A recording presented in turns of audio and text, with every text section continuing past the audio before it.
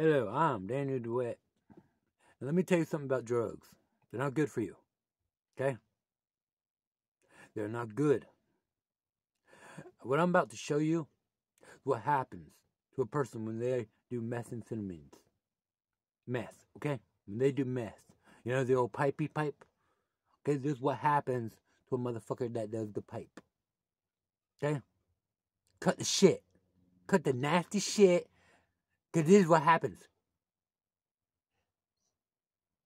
You see that? And right there, all meth. Get it out of your life. Trust me. You don't want to do it. Put that bowl down, smash it with a brick.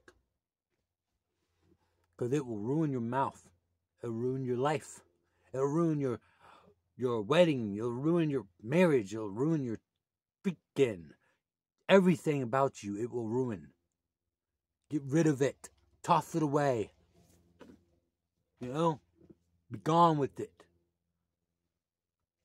Cause this, this shit can't be fixed. Not with the cheap motherfucker like me. Stop. End it now.